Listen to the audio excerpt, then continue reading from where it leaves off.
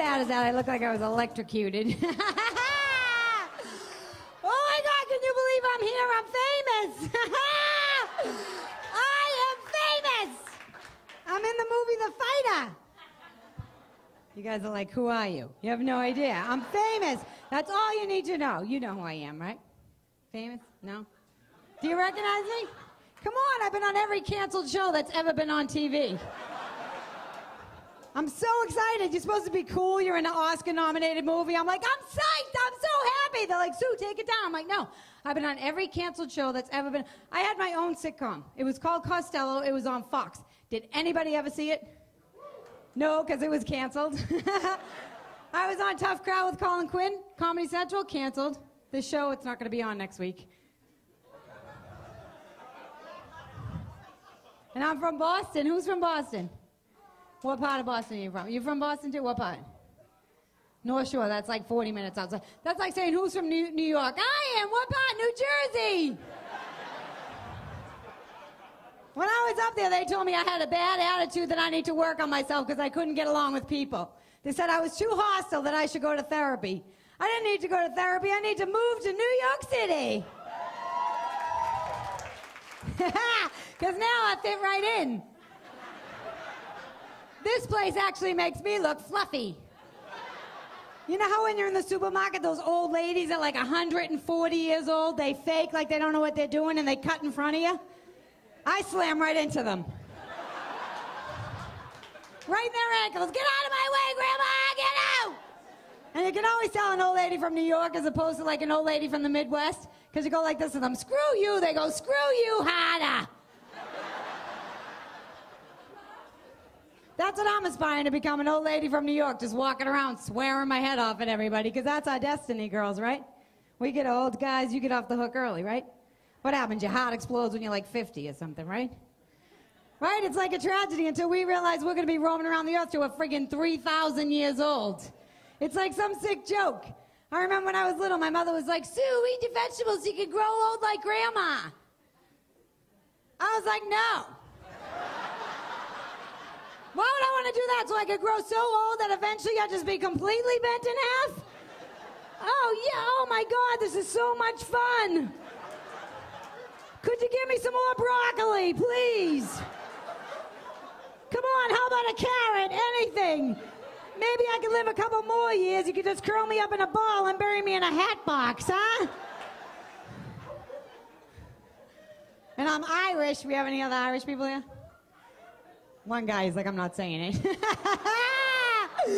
I'm shy because we're not the brightest bulbs. Irish people never clap. We're never proud because we're not so bright, right? I mean, come on, we almost died because our potatoes went bad. We thought that was the only food. The potatoes went bad. We were like, screw it, let's get drunk and die. and I'm Irish and Catholic. Are you too? It's horrible, right? You get repressed with the sex. Not even supposed to think about it. Like, I can't even believe I shook my booty like that. I'm going to go to hell. Seriously, because you're normally when you're Irish, because you guys, if you couldn't tell, but normally when I walk on stage, when I don't, you can totally tell I'm Irish Catholic because it physically, like, because I walk, I pull my vagina back just a little bit. oh, excuse me, all the Jewish girls are like, what is she talking about? what is she talking about?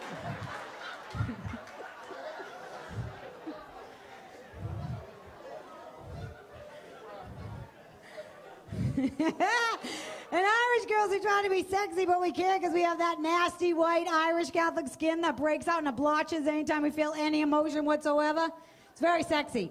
You walk up to a guy, you're a little nervous, you got a big blotch on your neck, you're like, hi. How you doing? He's like, that's disgusting. What is that? Is that contagious? You look like a leper. Beat it. Get out of here. one of my friends was getting married in Bo- All right, it wasn't one of my friends. I'm going to tell you guys the truth because I'm famous now and I don't want to alienate. Like, I don't want to put too much of it. I want you to know that I'm still a person. So, uh, they, one of the kids that used to whip acorns at me when I was little was getting married because I was a loser. I had a horrible childhood. I had a lazy eye. This was my entire childhood. Hey! hey, excuse me! You want to be my friend? Excuse me, I'm talking to you over there. Horrible. And my mother, I have a, my mother likes to drink, you know? Like when you have like a impediment like that, you'd think you'd like to have a nice mother that like nurtures you. My mother like, my mother drinks so much, like when she does her quotes, she does them backwards. Like, you know how you do this? She does them like this. So I never knew when she was to wake up with a crazy idea. So I'd always try to watch TV with my one good eye, like try to stay out of trouble. And one night she wakes up and there's a commercial on TV where a boy is coming out of Burger King after he got his haircut. A boy. And she wakes up and she's like, oh, that haircut will look good on Sue. Takes out a bowl and gives me a boy's haircut. So now, now I have a lazy eye and a boy's haircut, right? No, I show the picture to people now and they're like, who is that, Dustin Hoffman? And then the way they corrected the lazy eyes, they gave you a patch, but it was like made out of Band-Aid, and they covered the good eye, so the lazy eye would get strong. And it was just like the kids used to whip acorns at me. I couldn't even see them because of the patch. And then she bought me these jeans. They were called Tough Skins. I don't know if anybody remembers them, but they were like five dollars, and they were made out of concrete. So now I got a lazy eye, a boy's hair, got the whipping acorns at me. I can't run because of the tough skins. I'm like, just, when I thought my life couldn't suck anymore, I went to the eye doctors and I found out not only am I nearsighted, but I'm farsighted too. How does that happen? I only have one good eye. So I walk in, I see the pink Sergio Valente glasses on the wall. I'm like, oh my God, maybe the glasses are gonna make me cute. The eye doctor's like, no, son.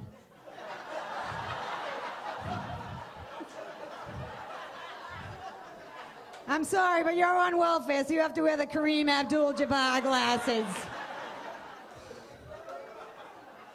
So now I'm going back to this wedding, and I want to show off. My eyes all better. I look better. I go to TJ Maxx. I get one of those dresses, you know, they're like four thousand dollars, marked down to thirty-nine ninety-nine. I swear to God, that's the only place in America you can get a dress that gives you camel toe. I have no idea how it happened. It must have been irregular or something. I don't know what happened. but I put the dress on and it's like a halter top and all my skin showing. I got blotches all over me. I don't notice because I think I look hot. I walk into the wedding like this, expecting everybody to come up to me and be like, damn, Sue, you look good. Instead, they were like, oh, were you burnt in a fire? Oh, Sue was burnt in a fire.